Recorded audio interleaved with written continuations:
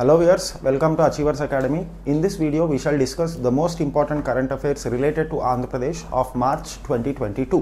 Right so March twenty twenty టూకి సంబంధించిన ఆంధ్రప్రదేశ్ ముఖ్యమైన కరెంట్ అఫైర్స్ని ఈ వీడియోలో తెలుసుకుందాం సో ఫస్ట్ టాపిక్ ఏంటో ఒకసారి చూద్దాం ఫస్ట్ టాపిక్ని కనుక మనం గమనిస్తే సో రీసెంట్గా NABARD national bank for agriculture and rural development. దీన్ని మనం నాబార్డ్ అంటాము. సో నాబార్డ్కి సంబంధించిన ప్రతినిధులు జగన్ గారిని కలవడం జరిగింది. And they presented document which is called as state focus document okay so state focus document on credit requirements in various sectors okay so రాష్ట్రానికి సంబంధించి వివిధ రంగాల్లో అప్పులు రుణ భారం లేదా రుణాలను ఎలా తీసుకొని రావాలి రుణాలకు ఏ విధంగా రుణాలను సాధించాలి అని చెప్పేసి ఒక డాక్యుమెంట్ని పబ్లిష్ చేశారన్నమాట. That is called as state documents so లేదా దీన్నే మనము state focus document state focus document on credit requirements on credit requirements in various sectors in various sectors పేరుతో ఒక డాక్యుమెంట్ని ఒక పత్రాన్ని విడుదల చేశారన్నమాట. State focus document on credit requirements in various sectors okay so Andhra Pradesh రుణ ఆవశ్యకత రుణ ఆవశ్యకత పత్రాన్ని స్టేట్ ఫోకస్ డాక్యుమెంట్ పేరుతో నాబార్డ్ ప్రతినిధులు నాబార్డ్ ప్రతినిధులు రూపొందించారన్నమాట ఈ డాక్యుమెంట్ని సో ఆంధ్రప్రదేశ్ రాష్ట్రం వివిధ రంగాల్లో ఏ విధంగా రుణాలు సాధించాలి రుణ ఆవశ్యకత ఏ విధంగా ఉంది అని తెలపడం కోసం క్రెడిట్ రిక్వైర్మెంట్స్ ఏ విధంగా ఉన్నాయో తెలపడం కోసం ఈ డాక్యుమెంట్ని విడుదల చేశారన్నమాట. రైట్? సో మోస్ట్ ఇంపార్టెంట్ గుర్తుపెట్టుకోండి దీంట్లో భాగంగానే two thousand twenty two twenty three ఆర్థిక సంవత్సరానికి సంబంధించి ఆంధ్రప్రదేశ్కి సంబంధించిన క్రెడిట్ రిక్వైర్మెంట్ ఎంత ఉంది అంటే రుణ ఆవశ్యకత ఎంత ఉంది అని చెప్తుంది డాక్యుమెంట్.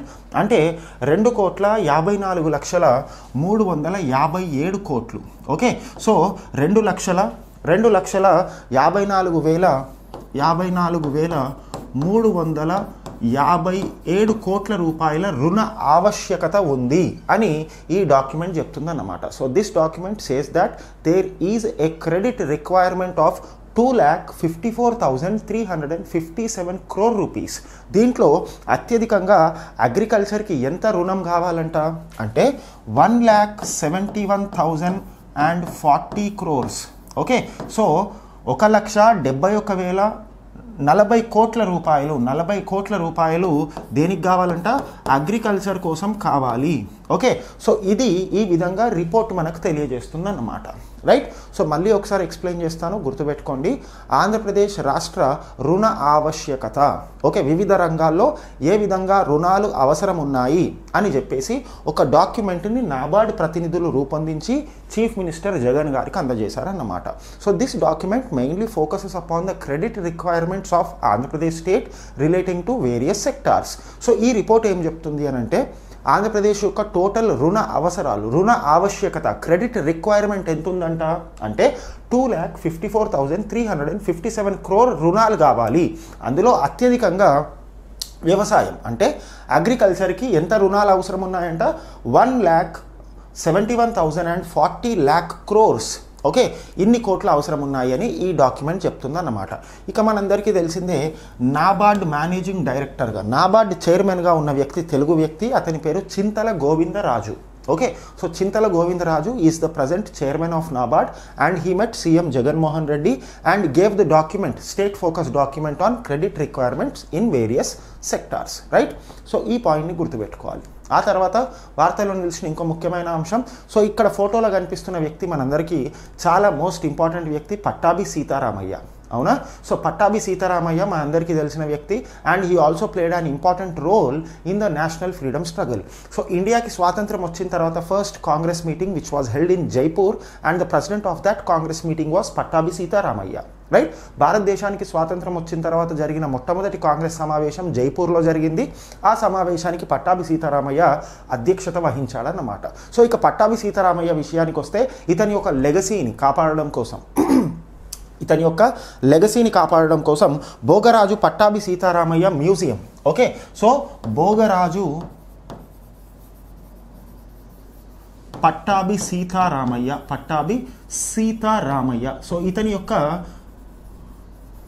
లెగసీని కాపాడడం కోసం ఒక మ్యూజియంని ఒక మ్యూజియంని ఎస్టాబ్లిష్ చేయాలి అని ఆంధ్రప్రదేశ్ గవర్నమెంట్ భావిస్తుంది. సో ఈ భోగరాజు పట్టాభి సీతారామయ్య మ్యూజియంని ఎక్కడ? మచిలీపట్నంలో. ఓకే? సో మచిలీపట్నంలో ఏర్పాటు చేయాలి అని ఆంధ్రప్రదేశ్ స్టేట్ గవర్నమెంట్ భావిస్తుంది అన్నమాట and this museum would be build with a budget of forty crores. So నలభై కోట్ల రూపాయలతో ఈ మ్యూజియంని నిర్మించనున్నారు ఎక్కడ? మచిలీపట్నంలో. సో మోస్ట్ ఇంపార్టెంట్ గుర్తుపెట్టుకోండి. So Bhogaraju Pattabhi Sitaramayya museum shall come up at Machilipatnam of Krishna district and it would be established with a budget of forty crores by Andhra Pradesh government right ఆ తర్వాత మనకు Andhra Pradesh state aquaculture development authority okay Andhra Pradesh state Andhra Pradesh state aquaculture aquaculture development authority development authority so దీనికి నూతనంగా ఒక vice chairman appoint అయ్యారన్నమాట. Okay so who has been appointed as the new vice chairman of Andhra Pradesh state aquaculture development authority so what is this aquaculture అంటే చేపలు రొయ్యల పెంపకాన్ని మనం aquaculture అంటాము. So దీనికి సంబంధించి ఒక సపరేట్ సంస్థని ఆంధ్రప్రదేశ్ ప్రభుత్వం ఏర్పాటు చేసింది. And that organisation is called as Andhra Pradesh state aquaculture development authority so ఈ ఆంధ్రప్రదేశ్ స్టేట్ ఆక్వాకల్చర్ డెవలప్మెంట్ అథారిటీకి ఇటీవల వైస్ చైర్మన్గా వైస్ చైర్మన్గా Vaddi Raghuram. Okay Vaddi Raghuram has been appointed as the new vice chairman of this Andhra Pradesh aquaculture development authority so Vaddi రఘురామ్ని Andhra Pradesh state aquaculture development అథారిటీకి vice చైర్మన్గా నియమించారు. And ఇక్కడ ఒక important point తెలుసుకోవాల్సింది ఏంటి అని అంటే ఈ ఆంధ్రప్రదేశ్ స్టేట్ ఆక్వాకల్చర్ డెవలప్మెంట్ అథారిటీకి చైర్మన్గా ఎవరుంటారు అంటే the chairman of this Andhra Pradesh state aquaculture development authority would be chief minister Jaganmohan Reddy. Okay so చైర్మన్గా జగన్మోహన్ రెడ్డి గారు ఉంటారు అండ్ వైస్ చైర్మన్గా ఇటీవల వడ్డీ రఘురామ్ని అపాయింట్ చేయడం జరిగిందన్నమాట. సో ముఖ్యంగా ఆంధ్రప్రదేశ్లో చేపల పెంపకం అదేవిధంగా రొయ్యల పెంపకాన్ని డెవలప్ చేయడం కోసం ఈ ఆర్గనైజేషన్ ఏర్పాటు చేశారు and that organisation is called as Andhra Pradesh state aquaculture development authority. Right? So most important గుర్తుపెట్టుకోవాలి. ఆ తర్వాత ఇటీవల Nirmala Sitharaman. So union finance minister Nirmala Sitharaman visited Andhra Pradesh especially Anantapuram జిల్లాని సందర్శించారు. సో అనంతపురం జిల్లాలోని పాల సముద్రం అనంతపురం జిల్లాలోని పాల సముద్రం అనే ప్లేస్లో పాల సముద్రం సో ఎక్కడుంది ఇది? అనంతపూర్ జిల్లాలో ఉంది. ఎక్కడ? అనంతపూర్ జిల్లాలో. సో అనంతపూర్ జిల్లాలోని పాల సముద్రం అనే ప్లేస్లో national academy of customs indirect duties and narcotics national national academy of national academy of customs indirect duties indirect duties indirect duties and indirect duties and narcotics and narcotics. So ఈ బిల్డింగ్కి శంకుస్థాపన చేశారు నిర్మలా సీతారామన్ గారు అన్నమాట. Okay, so recently Nirmala Sitaraman visited Palasamudram of Anantapur district and laid the foundation for National Academy of Customs, Indirect Duties and Narcotics. Okay so భారతదేశంలోని excise అదేవిధంగా indirect taxes అదేవిధంగా narcotics మాదక ద్రవ్యాలకు సంబంధించిన ఒక బిల్డింగ్ కాంప్లెక్స్ని ఇక్కడ అనంతపూర్లోని పాలసముద్రంలో ఏర్పాటు చేయనున్నారు. అండ్ దీనికి సంబంధించిన భూమి పూజ కార్యక్రమంలో కేంద్ర ఆర్థిక శాఖ మంత్రిగా ఉన్న నిర్మలా సీతారామన్ గారు పాల్గొనడం జరిగిందన్నమాట. మోస్ట్ ఇంపార్టెంట్ గుర్తుపెట్టుకోండి national academy of customs indirect duties and narcotics to come up in which district of Andhra Pradesh అంటే అనంతపూర్ జిల్లాలో ఈ అకాడమీని ఏర్పాటు చేయనున్నారన్నమాట. అన్నమాట రైట్ సో మోస్ట్ ఇంపార్టెంట్ గుర్తుపెట్టుకోండి. అండ్ ఇది మార్చ్లో జరిగిన ఇంకో ముఖ్యమైన ఈవెంట్ మనకు ఓకే ఆ తర్వాత మనకి Skoch Skoch state of governance report card okay so Skoch అనే సంస్థ స్కాచ్ అనే సంస్థ state of governance state of governance report card report card twenty twenty one twenty టూను విడుదల చేసింది. అంటే భారతదేశంలోని ఏ రాష్ట్రాల్లో అత్యుత్తమ సుపరిపాలన అంటాం కదా సుపరిపాలన అందిస్తున్న రాష్ట్రాలను ర్యాంక్ చేస్తుందన్నమాట ఈ రిపోర్ట్. ఆ రిపోర్ట్ పేరేంటి? Skoch state of governance report card twenty twenty one twenty two. And ఈ రిపోర్ట్లో Andhra Pradesh stood in the first place okay Andhra Pradesh first ప్లేస్లో నిలిచింది. ఈ పాయింట్ని మనం గుర్తుపెట్టుకోవాలి. ఓకే సో ఇటీవల ప్రకటించిన స్కాట్ సుపరిపాలన అందిస్తున్న రాష్ట్రాల జాబితాలో ఆంధ్రప్రదేశ్ మొదటి స్థానంలో నిలిచింది అనే పాయింట్ని మనం గుర్తుపెట్టుకోవాలి. So most important right? So last year కూడా లాస్ట్ ఇయర్ కూడా Andhra Pradesh was in the first place and in this year also it retained its first place right సుపరిపాలన అంటే గుడ్ అడ్మినిస్ట్రేషన్ గుడ్ అడ్మినిస్ట్రేషన్ అందిస్తున్న రాష్ట్రాల్లో Andhra Pradesh stood first place in the report prepared by Skoch and that report is called as Skoch state of governance report card twenty twenty one twenty two right so most important ఆ తర్వాత వార్తల్లో నిలిచిన ముఖ్యమైన అంశం. So మనందరికీ తెలిసిందే Andhra Pradesh budget was presented in Andhra Pradesh assembly and Andhra Pradesh budget was presented by the state finance minister Buggana Rajendranath Reddy right ఇక Andhra Pradesh budget విషయానికి వస్తే కొన్ని ముఖ్యమైన విషయాలను గమనించాలి. సో ఆంధ్రప్రదేశ్ యొక్క total budget the total outlay of budget is two lakh fifty six thousand two hundred and fifty seven crore so మొత్తం budget ఎంత? Two lakh fifty six thousand two hundred and fifty seven లక్షల కోట్లు. Okay. So రెండు లక్షల యాభై ఆరు వేల రెండు వందల యాభై ఏడు లక్షల కోట్ల రూపాయలతో టోటల్ బడ్జెట్ని ప్రవేశపెట్టడం జరిగిందన్నమాట. ఆర్థిక శాఖ మంత్రిగా ఉన్న బుగ్గన రాజేంద్రనాథ్ రెడ్డి. బుగ్గన రాజేంద్రనాథ్ రెడ్డి. రైట్? ఇక మనకు revenue expenditure. So revenue expenditure విషయానికి వస్తే రెవెన్యూ ఖర్చు రెవెన్యూ ఎక్స్పెండిచర్ విషయానికి వస్తే సో ఈ రెండు కోట్ల యాభై ఆరు లక్షల రెండు లక్షల యాభై ఆరు వేల రెండు వందల యాభై ఏడు లక్షల కోట్లలో రెవెన్యూ ఎక్స్పెండిచర్ ఎంత ఉందంట అంటే two lakh eight thousand two hundred and sixty one crore two lakh eight thousand two hundred and sixty one crore revenue ఖర్చుగా ఉంది. ఇక మనకు క్యాపిటల్ ఖర్చు.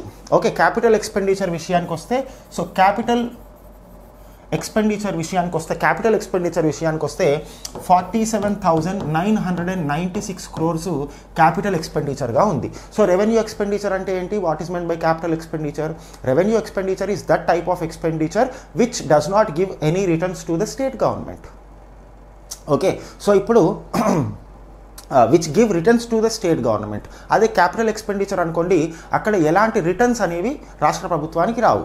Right so capital expenditure suppose capital expenditure విషయానికి వస్తే hospitals కట్టడం కానివ్వండి స్కూల్స్ కట్టడం కానివ్వండి ఇవన్నీ కూడా క్యాపిటల్ ఎక్స్పెండిచర్ కిందకి వస్తాయి. మరి రెవెన్యూ ఎక్స్పెండిచర్ అంటే ఏంటి? అంటే ఇప్పుడు స్టేట్ గవర్నమెంట్ ఎంప్లాయీస్ ఉన్నారనుకోండి వాళ్ళకి శాలరీస్ ఇస్తారు. That is a part of revenue expenditure and then government construct state highways ఆ స్టేట్ హైవేస్ ఆ స్టేట్ హైవేస్ని స్టేట్ హైవేస్ని కన్స్ట్రక్ట్ చేసిన తర్వాత వాటి నుండి ఆదాయం వస్తుంది. అవునా? సో టోల్ ట్యాక్సెస్ రూపంలో. సో దీన్ని మనం రెవెన్యూ ఎక్స్పెండిచర్ అంటామన్నమాట ఓకే సో రెవెన్యూ ఎక్స్పెండిచర్ ఎప్పుడైనా ఎక్కువ ఉంటుంది క్యాపిటల్ ఎక్స్పెండిచర్ తక్కువగా ఉంటుంది. క్యాపిటల్ ఎక్స్పెండిచర్ అంటే ఏంటి? ఎలాంటి రిటర్న్స్ రాకపోతే దాన్ని మనం క్యాపిటల్ ఎక్స్పెండిచర్ అంటాము. రెవెన్యూ ఎక్స్పెండిచర్ అంటే గవర్నమెంట్కి మళ్ళీ అక్కడ ఖర్చు చేసినందుకు తిరిగి ఆదాయం లభిస్తుంది కాబట్టి దాన్ని మనం రెవెన్యూ ఎక్స్పెండిచర్ అంటామన్నమాట రైట్ సో మోస్ట్ ఇంపార్టెంట్ గుర్తుపెట్టుకోండి. So revenue expenditure capital expenditure ఈ విధంగా ఉందన్నమాట. ఓకే ఇక రెవెన్యూ డెఫిషిట్ రెవెన్యూ డెఫిసిట్ విషయానికి వస్తే ఓకే సో రెవెన్యూ డెఫిసిట్ విషయానికి వస్తే uh, దీన్నే మనం ఆర్థిక లోటు అని అంటాము. సో రెవెన్యూ డెఫిసిట్ విషయానికి వస్తే సెవెంటీన్ థౌజండ్ థర్టీ సిక్స్ క్రోర్స్గా రెవెన్యూ డెఫిసిట్ ఉంది. ఇక uh, ఫిజికల్ డెఫిసిట్ విషయానికి వస్తే ఫిజికల్ డెఫిసిట్ దీన్ని మనం ద్రవ్య లోటు అని అంటాము. ఓకే సో ద్రవ్య లోటు అని అంటాము. ద్రవ్య లోటు విషయానికి వస్తే forty eight thousand seven twenty four crore forty eight thousand seven twenty four crore అని అంటున్నాం అన్నమాట. Okay so revenue deficit physical deficit దీని మధ్యలో కూడా డిఫరెన్స్ మనకు తెలిసి ఉండాలి. సో బేసిక్ ఎకనామిక్స్ ఎవరు చదువుకున్నా కూడా వాళ్ళకి రెవెన్యూ డెఫిసిట్ అంటే ఏంటి? ఫిజికల్ డెఫిసిట్ అంటే ఏంటి? తెలిసిపోతుంది అనమాట so Andhra Pradesh revenue deficit seventeen thousand thirty six crores physical deficit forty eight thousand seven twenty four crores right so దీంట్లో భాగంగా మనం ఒకసారి కనుక గమనిస్తే వైఎస్ఆర్ పెన్షన్ కానుక ఓకే సో వైఎస్ఆర్ పెన్షన్ కానుక. సో ఈ స్కీమ్కి ఈ స్కీమ్కి ఆంధ్రప్రదేశ్ బడ్జెట్లో ఎంత అంటే ఎయిటీన్ థౌజండ్ క్రోర్స్. ఓకే పద్దెనిమిది వేల కోట్ల రూపాయలను వైఎస్ఆర్ పెన్షన్ కానుక అనే కార్యక్రమానికి కేటాయించడం జరిగింది. ఆ తర్వాత రైతు భరోసా వైఎస్ఆర్ రైతు భరోసా. సో ఈ వైఎస్ఆర్ రైతు భరోసా అనే ప్రోగ్రామ్కి వైఎస్ఆర్ రైతు భరోసా అనే ప్రోగ్రామ్కి త్రీ థౌజండ్ నైన్ హండ్రెడ్ క్రోర్స్ని కేటాయించారనమాట three thousand nine hundred crore rupees were allocated to were allocated to YSR Rythu Bharosa. ఇక ఆంధ్రప్రదేశ్ రాష్ట్రం యొక్క అగ్రికల్చర్. ఓకే సో వ్యవసాయానికి వ్యవసాయానికి ఈ సంవత్సరం యొక్క బడ్జెట్లో ఎంత కేటాయించారు? అంటే అగ్రికల్చర్కి సంబంధించి eleven thousand three eighty seven crore eleven thousand three eighty seven crore రూపీస్ని అగ్రికల్చర్కి కేటాయించారన్నమాట రైట్ అదేవిధంగా బీసీ వెల్ఫేర్ అంటే వెనుకబడిన తరగతుల సంక్షేమం. బీసీ వెల్ఫేర్ అంటాం కదా సో వెనుకబడిన తరగతుల సంక్షేమానికి సంబంధించి కూడా అత్యధికంగా నిధులు కేటాయించారు. గమనిస్తే ఇరవై వేల తొమ్మిది వందల అరవై రెండు కోట్లు so twenty thousand nine hundred and sixty two crore were allocated to BC welfare right so ఈ పాయింట్స్ని మనం గుర్తుపెట్టుకోవాల్సిన అవసరం ఉంటుందన్నమాట. రైట్ సో బడ్జెట్కి సంబంధించి ఓవరాల్గా జిస్ట్ ఏంటో అంటే అందులో ఉన్న ముఖ్యమైన అంశాలు ఏంటో మనం ఇక్కడ డిస్కస్ చేయడం జరిగింది రైట్ ఆ తర్వాత మనకు ఆంధ్రప్రదేశ్ ఎకనామిక్ సర్వేని కూడా ప్రచురించారు. ఇందులో నుంచి కూడా మనం కొన్ని ఇంపార్టెంట్ డీటెయిల్స్ని తీసుకోవాలి. సో ఆంధ్రప్రదేశ్ ఎకనామిక్ సర్వేకి సంబంధించి ఆంధ్రప్రదేశ్ ఎకనామిక్ సర్వేకి సంబంధించి ఈ ఎకనామిక్ సర్వే ఏం చెప్తుంది? అంటే ఆంధ్రప్రదేశ్ పర్ క్యాప్టియా ఇన్కమ్ అంటే సగటున ఆంధ్రప్రదేశ్ పౌరుడి యొక్క ఆదాయం ఎంత ఉంది అంటే one lakh seventy thousand two hundred and fifteen rupees one lakh seventy thousand two hundred and fifteen రూపీస్గా Andhra Pradesh per capita income ఉందన్నమాట. ఓకే పర్ క్యాపిటా ఇన్కమ్ ఎంత ఉంది one lakh seventy thousand two hundred and fifteen rupees అదేవిధంగా ఈ economic survey ప్రకారం economic survey ప్రకారం కేంద్ర ప్రభుత్వం నుండి కేంద్ర ప్రభుత్వం నుండి రాష్ట్రానికి పన్నుల రూపంలో ఎంత ఆదాయం లభిస్తుందంట?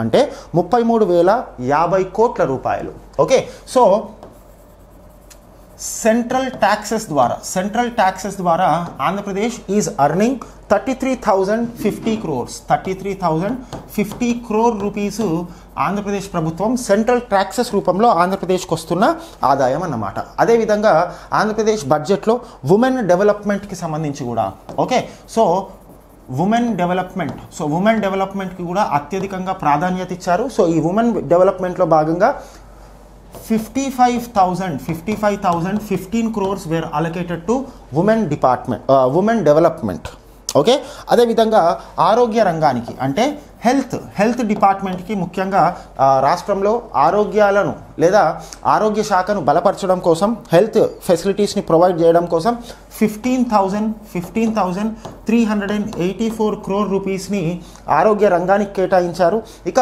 school education okay school education అంటే పాఠశాల విద్య స్కూల్ ఎడ్యుకేషన్కి సంబంధించి ఎంత కేటాయించారు అంటే twenty seven thousand twenty seven thousand seven nought six crore రూపీస్ని school ఎడ్యుకేషన్కి కేటాయించారన్నమాట. అదేవిధంగా panchayat raj department okay so రాష్ట్రంలో ఉన్న పంచాయత్ రాజ్ డిపార్ట్మెంట్కి పంచాయత్ రాజ్ డిపార్ట్మెంట్కి ఎన్ని కోట్లు? అంటే మనకి ఐదు వేల కోట్ల రూపాయలను ఫైవ్ థౌజండ్ క్రోర్ రూపీస్ని పంచాయత్ రాజ్ డిపార్ట్మెంట్కి కేటాయించారు.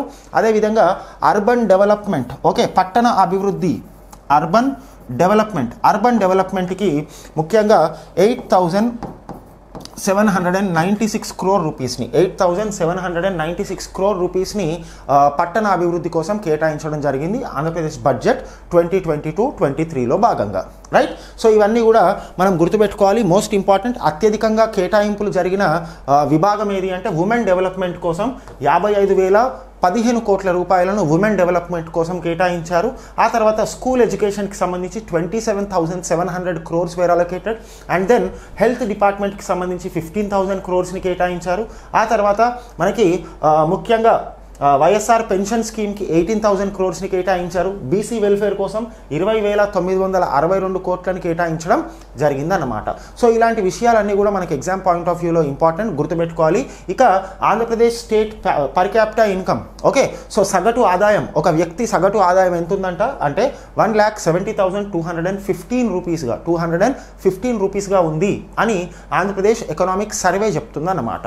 రైట్? సో ఈ విషయాలను మనం ఎగ్జామ్ పాయింట్ ఆఫ్ వ్యూలో గుర్తుపెట్టుకోవాలి ఆ తర్వాత మనకు కేంద్ర ప్రభుత్వ సంస్థ అయిన ఇఫ్కో ఓకే?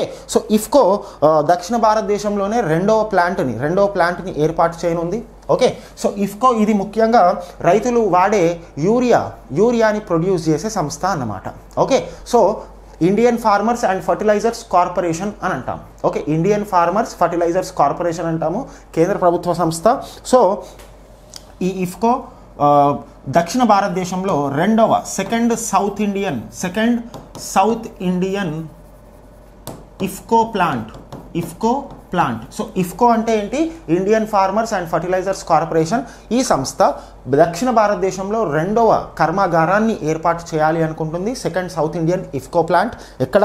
అంటే నెల్లూరు జిల్లాలో ఏర్పాటు చేయాలి అనుకుంటుంది అన్నమాట ఓకే సో నెల్లూరు జిల్లాలో దాదాపు two hundred and fifty crore రూపీస్తో two hundred and fifty crore rupees పెట్టుబడితో ఈ సంస్థను ఈ కర్మాగారాన్ని నిర్మించాలి అనుకుంటుంది IFFCO right so most important గుర్తుపెట్టుకోండి. IFFCO to establish its second fertiliser plant in Nellore with a budget of two hundred and fifty crores right so IFFCO is an central government organisation producing urea for agriculture okay ఆ తర్వాత వార్తలో నిలిచిన ఇంకో ముఖ్యమైన అంశం. So మనందరికీ తెలిసిందే uh, Shaik Sadia Almas. Okay so ఇక్కడ మనకు ఫోటోలో కనిపిస్తున్న లేడీ పేరు షేక్ సాదియా అల్మస్. షేక్ సాదియా అల్మస్. సో ఇటీవల షేక్ సాదియా అల్మస్ ఈవిడ పవర్ లిఫ్టింగ్ క్రీడాకారిణి అన్నమాట. Okay so she a power lifter and రీసెంట్గా ఇంటర్నేషనల్ పవర్ లిఫ్టింగ్ ఛాంపియన్స్ ఎక్కడ? ఛాంపియన్షిప్ ఎక్కడ? ఇస్తాన్బుల్లో జరిగింది. ఓకే సో ఇస్తాన్బుల్లో జరిగిన ఇంటర్నేషనల్ పవర్ లిఫ్టింగ్ పోటీల్లో దాదాపు త్రీ గోల్డ్ మెడల్స్ అదేవిధంగా వన్ సిల్వర్ మెడల్ని గెలుచుకుంది ఆంధ్రప్రదేశ్కి చెందిన షేక్ సాదియా అల్మస్ షేక్ సాదియా అల్మస్. సో ఆవిడను సీఎం జగన్మోహన్ రెడ్డి ప్రశంసించడం జరిగింది and she was also given she was also offered a government job a government job అదేవిధంగా అదేవిధంగా గుంటూరు జిల్లాలోని మంగళగిరిలో గుంటూరు జిల్లాలోని మంగళగిరిలో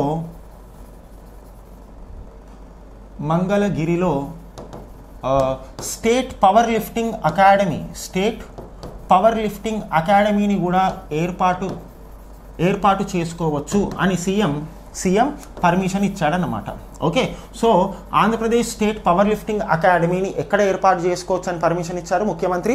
అంటే గుంటూరు జిల్లాలోని మంగళగిరిలో. సో రీసెంట్గా ఇస్తాన్బుల్లో జరిగిన ప్రపంచ పవర్ లిఫ్టింగ్ పోటీల్లో మూడు స్వర్ణ పథకాలు ఒక రజత పథకం గెలుచుకున్న షేక్ సాదియా అల్మస్ను జగన్మోహన్ రెడ్డి ప్రశంసించడం జరిగిందన్నమాట.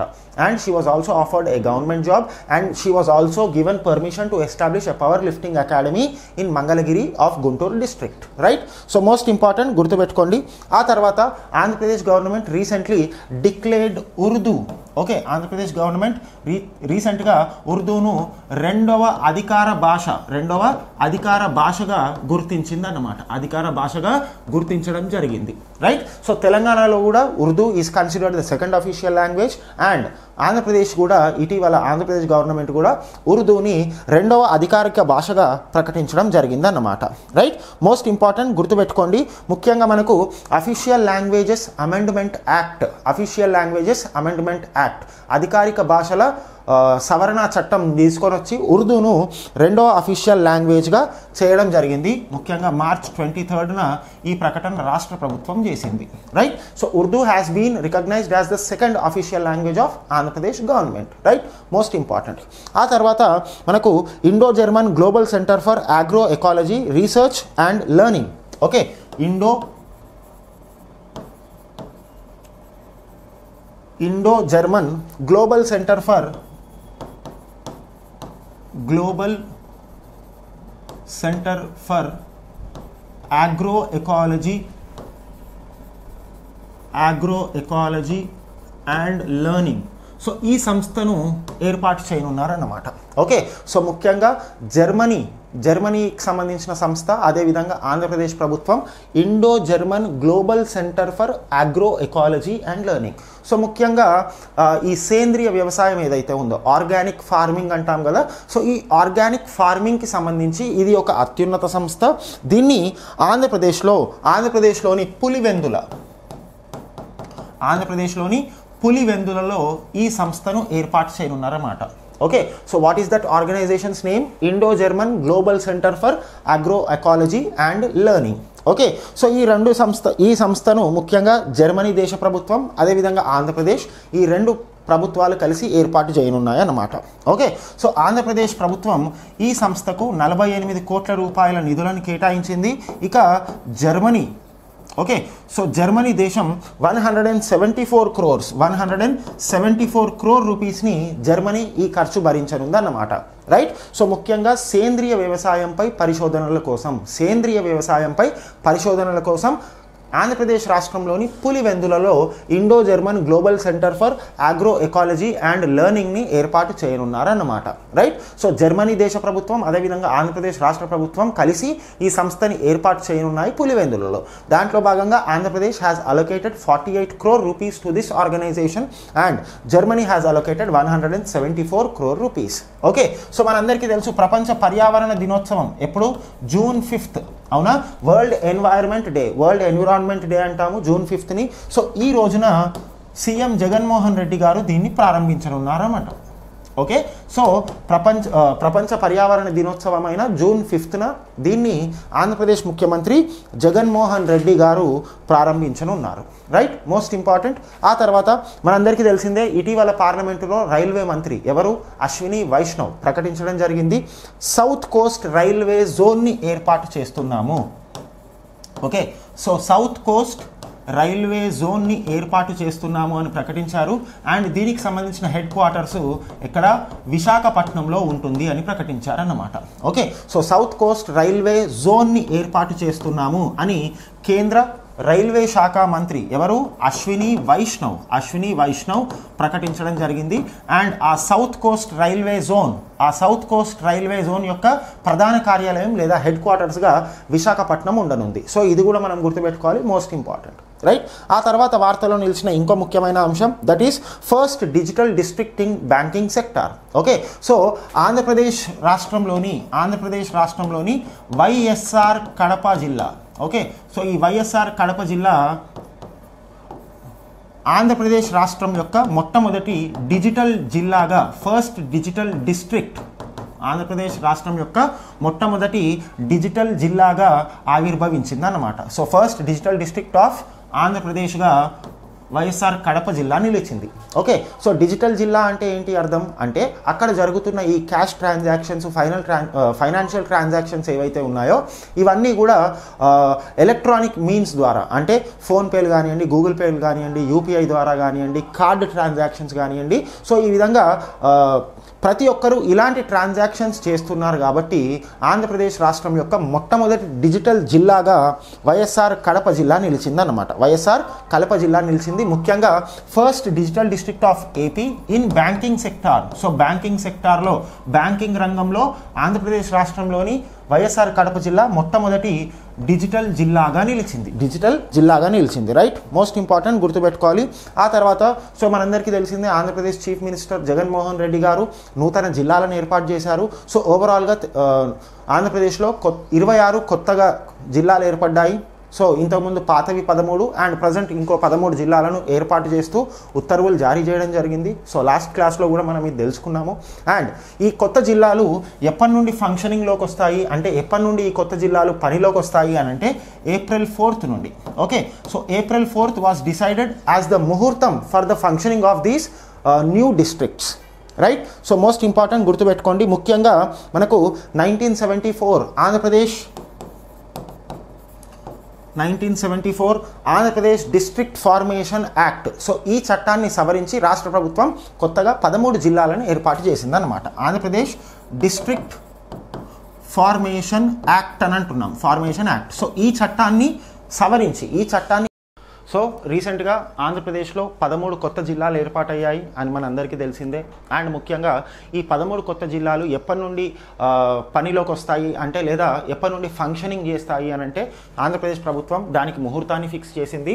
సో ఏప్రిల్ ఫోర్త్ నుండి ఓకే ఏప్రిల్ ఫోర్త్ నుండి కొత్త జిల్లాలు కొత్త జిల్లాలు ఆవిర్భావంలోకి వస్తాయి. అండ్ నూతనంగా మండలాలు కేంద్రాలు అవన్నీ కూడా ఏర్పాటు అవుతాయి సో ఓవరాల్గా ఏప్రిల్ ఫోర్త్ నుండి కొత్తగా క్రియేట్ చేసిన థర్టీన్ న్యూ డిస్ట్రిక్ట్స్ ఏవైతే ఉన్నాయో అవి ఫంక్షన్ చేస్తాయి అన్నమాట రైట్ సో మోస్ట్ ఇంపార్టెంట్ గుర్తుపెట్టుకోండి. సో ఇక్కడ ఒక ఇంపార్టెంట్ పాయింట్ మనం తెలుసుకోవాలి ఏంటి అంటే nineteen seventy four Andhra Pradesh district formation act nineteen seventy four Andhra Pradesh district formation act ఈ చట్టాన్ని సవరించి ఈ చట్టాన్ని సవరించి ఆంధ్రప్రదేశ్ రాష్ట్ర ప్రభుత్వం కొత్తగా పదమూడు జిల్లాలను ఏర్పాటు చేసిందన్నమాట. Right so by amending the nineteen seventy four Andhra Pradesh district formation act Andhra Pradesh government has created thirteen new districts in AP and all all these th- 26 new shall come in into force from April 4th. Right so ఈ పాయింట్ని కూడా మనం తెలుసుకోవాల్సిన అవసరం ఉంటుందన్నమాట. Right ఆ తర్వాత ఇక్కడ మనకు కనిపిస్తున్న మోస్ట్ ఫేమస్ నంది దీన్నే మనం లేపాక్షి నంది అంటున్నాం. సో ఈ లేపాక్షి వీరభద్ర స్వామి టెంపుల్ ఏదైతే ఉందో ఓకే? లేపాక్షి వీరభద్ర స్వామి టెంపుల్ ఏదైతే ఉందో దీన్ని ఇటీవల లేపాక్షి వీరభద్ర స్వామి టెంపుల్ ఏదైతే ఉందో దీన్ని ఇటీవల UNESCO UNESCO world heritage site world heritage site temporary లిస్టులో స్థానం సంపాదించుకుందన్నమాట.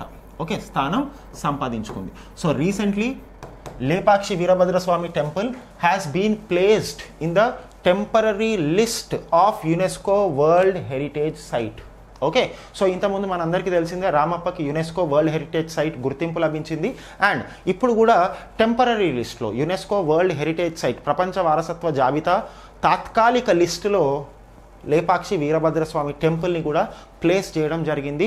సో ఫర్దర్గా నామినేషన్స్ ఇంకా చాలా నామినేషన్స్ ఉంటాయి కాబట్టి సో ఆ నామినేషన్స్ నుండి చివరిగా ఒక లిస్ట్ని ప్రిపేర్ చేస్తారు.